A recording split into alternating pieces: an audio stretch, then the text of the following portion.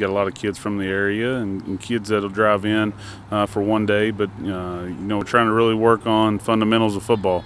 Uh, the basics, uh, offense, defensively, and uh, you know, trying to give them some drills to take home with them to be able to work and improve their game uh, for this fall. We'll get through agilities and, and teaching them different uh, drills there, reaction drills, um, you know, leverage drills, you know, really the fundamentals and footworks.